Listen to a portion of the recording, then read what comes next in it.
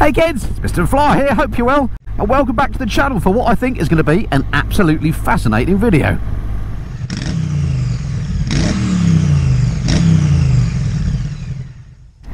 Okay, so what's the plan today then? Well, basically, I've jumped on the trusty GS, my workhorse bike.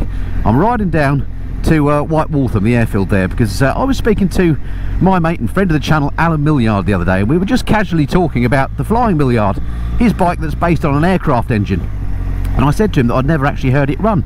And he said, well, we need to put that right. So basically we agreed to meet up at uh, White Waltham today, because it so happens that's halfway between where we each live, and uh, have a closer look at the bike, actually start her up, and maybe even have a little bit of a ride on it.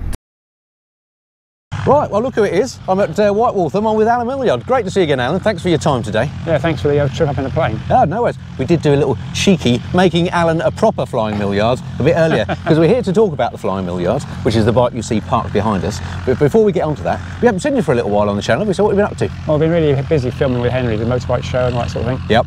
And especially the land speed record on the Viper V10. I saw that about two weeks ago. Uh, unbelievable. That was up at uh, Elvington, wasn't it? Yeah, yeah, Uh, yeah. The runway there is, what was that, two miles Two long? or miles long. So we did, we did the standing start one mile standing start 1.25 mile. Yeah, yeah. I'll tell you what, I've got a feeling the sun's in the wrong spot. This shows how we're amateurs. There we go. We'll come back with the bike behind us, isn't it? So yeah, so two mile long runway. Yeah. And marked out at. One mile and Yeah. 1.25 miles. And are you actually able to see that as you're doing the speed? Yeah, yeah, there's big checkered flags. Right, so you, know- you know when you've gone through it. So the record itself was for the fastest motorcycle with a pillion, wasn't it? Yes, tandem motorcycle they call it, with two people. And the previous record was. 181 point something. And you did 183.5. absolutely nuts. And that was with Henry on the back, Henry on the back, yeah. He's not? And I mean, he's, he doesn't look like he's a particularly light fellow, unlike yourself. he's, he's a bit heavier than me. Yeah. So that's like the worst top box ever, isn't it? Yeah, definitely. So was there anything about it that uh, was more tricky than you thought, or was it about I, what you thought? I, I overgeared the bike, so it's only got one speed. It's geared for 100, geared for 225 miles an hour. Unbelievable. At 6,000 revs, I should have geared it for 200. Yeah. So we're pulling away from a standing start Yeah. with two up, and we still beat the world record for the standing one mile and standing 1.2 mile. Unbelievable. That's absolutely brilliant. And if you want to see it, you can still see it. It's on Television Yeah, X, I- isn't it? ITVX, ITVX. Television X is something else. Yeah. Uh, ITVX, was it episode Five. six or five, Episode something like five. that? Check it out there if you want to go and see the, the land speed record. Brilliant attempt. Anyway, we come here today to, swap that around, an airfield uh, because this bike has an aircraft engine in it. Now, we, we, we spoke uh, yesterday on the phone, and I said to you, we were just randomly talking, and I said, you know, I've never heard the Flying Millyard start. And you said, we need to put that right. Hence why we're here today, yeah? Oh, it might be, we even get a ride on it as well. So, what can, tell me about the bike then. What's the history? Well, the, the cylinder's from a Pratt & Whitney Wasp R1830, so it's about 2,500 cc a cylinder. And the Pratt & Whitney Wasp, if you're an aviation fan like me, was a big radial, yeah? Seven and nine cylinders. And they made it over a number of years, didn't they? And lots of variants. Yeah, from like 1920 up to about 1950, I believe. Unbelievable, because I know it, I think from the Corsair, the Vought Corsair, the big naval swing, Yeah. folding wing thing. Yeah. Also, it's in the uh, Harvard or the T6 Texans, isn't it? and the DC3s and DC2s. DC3, yeah, the uh, Dakota. Yeah. Uh, so all sorts of proper, big, powerful aeroplanes, aren't they? Six inch diameter pistons, so it's just massive. It's just nuts, isn't it? And, and those planes, they're um, they tend to be supercharged, don't they? They are supercharged. So, yeah. so what's the story here? You thought was supercharging it? No, I built the bike to ride. If, if I supercharge it, it would never start it. I have to start it by hand with a jump, jump lever. Sure. So it's low compression. Everything, the camshafts are all sort of slack, so it's all low, low power. Yeah, brilliant. Main thing is it starts and runs and rides. Fantastic. And uh, it being an aero engine, I know from my, just my own simple flying, it, it- starting an aeroplane engine isn't as straightforward as just turning a key, is it? No. Can you talk us through what the starting procedure is? So we go and have a look at the bike and do Yeah, that. yeah, yeah. Yeah. I wonder if I come around this Yeah. side, get better light. Before you do though, I mean, just the workmanship on it, I love this. This is my flight control centre. I mean, that looks like a, a quadrant in an aircraft. Is that, is that the idea? It's part of the design to try and get the aircraft theme into the motorcycle. Well, you've certainly succeeded. I mean, it looks, I mean, it looks like something out of the 1920s, doesn't it? So the first thing you have to do is turn the oil on. Yep, okay. It's already on, so you turn the oil on. The oil's in the tank up here. And is that just gravity fed? it comes around on a pump. Okay. It's Got a Honda Fireblade pump. Right, okay. Pumps quite a lot of oil. Yeah, brilliant. On here you've got mixture, so you have to set it to rich. Yep. Then the ignition has to be on minimum on retard. Okay. If, if you leave it there, it'll kick back and throw you up in the air. Okie dokie, that sounds a little bit That's, squirrely. really- that, that's it. The petrol has to go on. What's on that? What's that there that says contact then? That's the ignition. Oh, okay. You just literally pull. So there's no key or anything. Okay, you just pull the ignition out, then you Right. put, put the kickstart lever on, turn the engine, and it should start. I remember from before when we talked about the kickstart lever. Isn't it like an adapted spanner that you have? Yeah, around here. So that's here. Cool. Which is an old ratchet spanner. And have you had that experience with it kicking back I at you? have, it hurts. so this has got a one-way clutch on here, so it only goes one way. Right. So what I have to do is get it up to compression. Like that. I'm loving that sucking noise. Ignition on, a little bit of throttle. Sometimes it starts, sometimes it doesn't. Okay, I'll take that.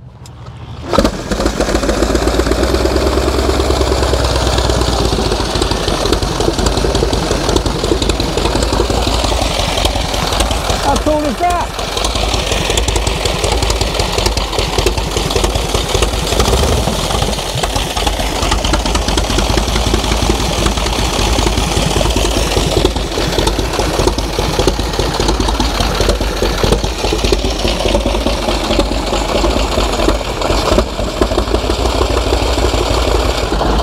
Can you always hear it?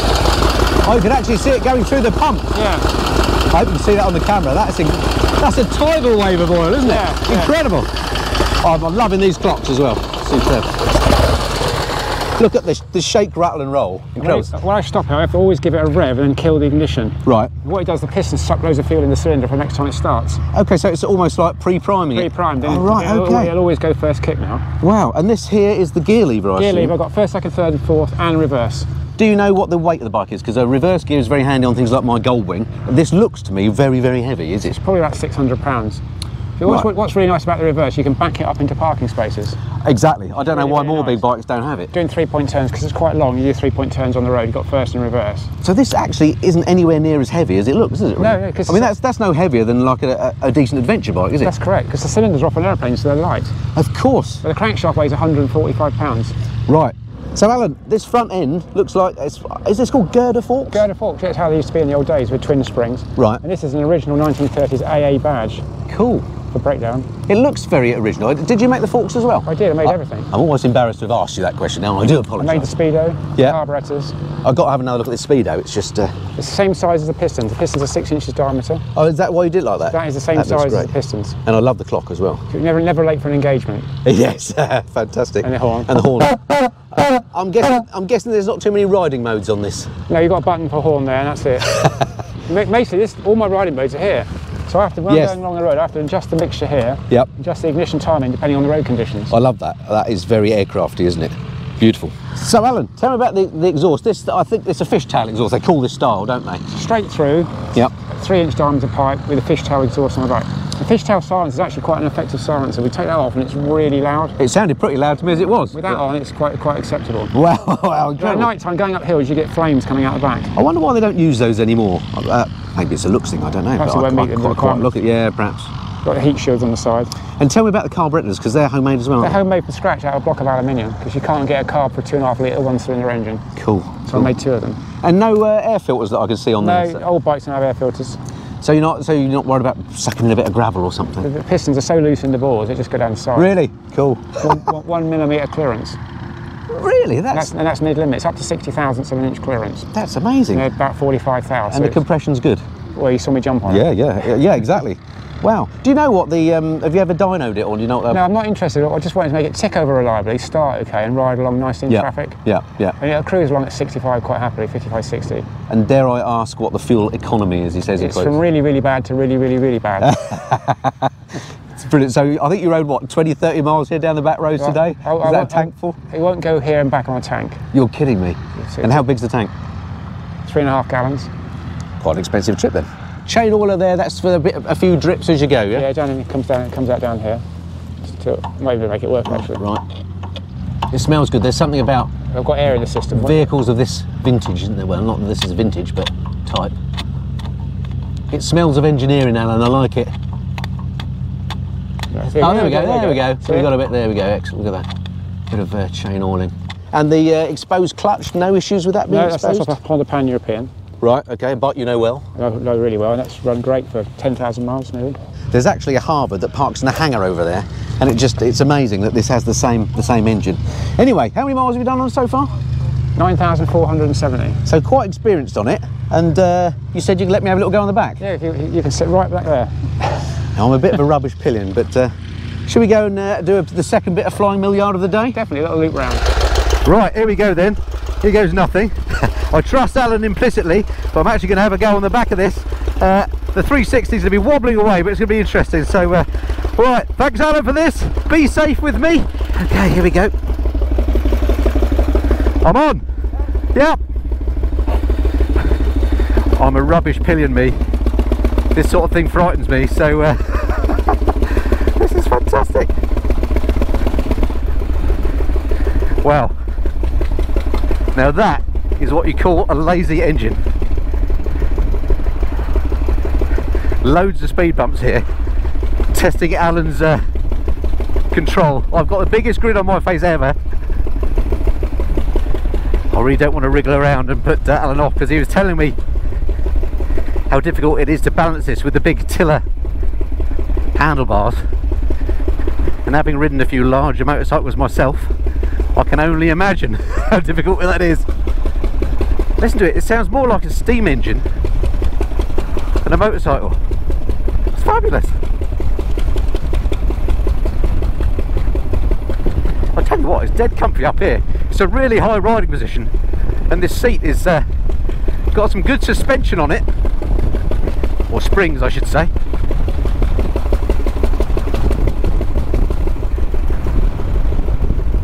Uh oh got a red light coming up don't know how much planning has to be done to stop this. I'm not going to put my feet down. I'm going to let Alan use all his powers of concentration. Is that light going to change before we have to stop? No isn't it annoying when that happens? Right I'm not going to wriggle. Not wriggling not wriggling. I can slightly feel my left calf burning slightly on that exhaust. oh, you've got to do a bridge or a tunnel, haven't you? How good was that?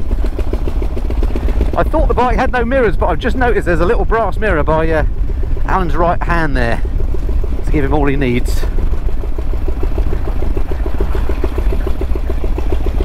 I'm loving I hope with the GoPro you can actually see round Alan and the big clocks it just looks superb. What a fabulous experience. So uh, the deal was I get a ride on the Flying Millyard and I take Millyard flying. So that was a pretty good swap if you ask me. Uh, massive thanks to Alan for letting me do this. This is not something that many people get the chance to do, so uh, huge honour for me. I'm mesmerised by the uh, suspension on the front actually a bit like on my Goldwing where you see the tops of the forks bouncing around. You can see that girder fork doing its thing. Oh, that was bumpy. Other cars on the road must think, what on earth is going on? When you consider when this was uh, in an aeroplane application, this probably revved up to, I don't know, 2,000, 2,500 RPM. So low revving compared to a motorcycle.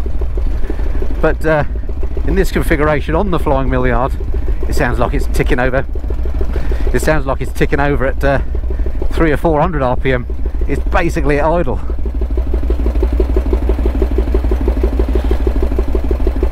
corners beautifully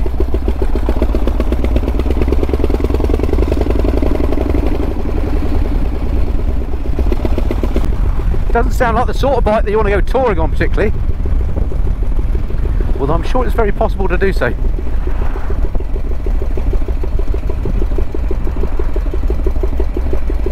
Loving the old school hand signals. When I went flying with Alan just now, he said he was he thought it was quite complicated flying and there was a lot that you had to do. Well, I, I think riding this bike is probably just as, if not more, complicated. Absolutely brilliant. That's amazing goes fast. It goes fast. Oh, right. Yeah, it doesn't feel like 50 miles an hour idle, but just poodles along.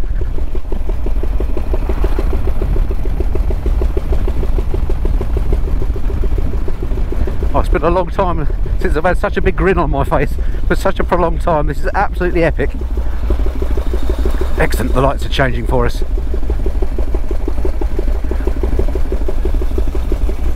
Here we go through the tunnel. It's got to be done, Alan. It's got to be done. Okay, another corner coming up. Concentrate. Don't wiggle, Andy. Don't wiggle.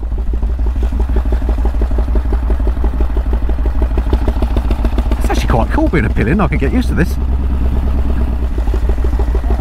Yep.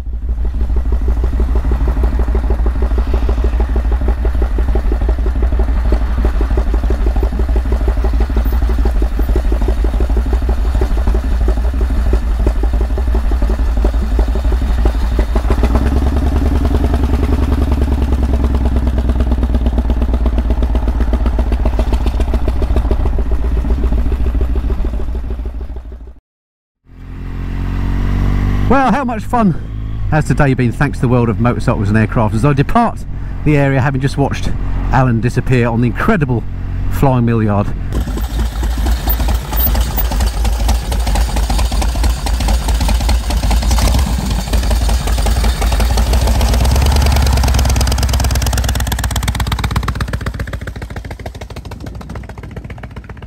What an absolute machine that is. It uh, caused quite a stir at the airfield, I can tell you. We had a spot of lunch after we did that little interview and uh, there's quite a crowd gathering around the bike and uh, rightly so, both beautiful to look at, listen to and to ride. Brilliant stuff. So thank you very much indeed, Alan, for uh, spending the time with me. He's a lovely bloke, really interesting, of course, and uh, fascinating to have a chat with him. We have some plans for possible future videos, so do stick around and stay tuned for those. And uh, obviously I'll tell you more about those at the time. In the meantime, if you've not hit the subscribe button, please consider doing so. It'd be great to have you along to the next video.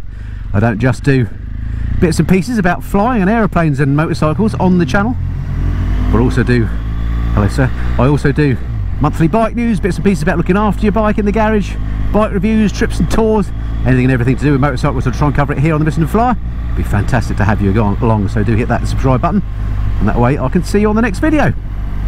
Right, I'm going to get home before the rain starts and uh, yeah look forward to speaking to you soon until then this has been the Missenden Fly. cheerio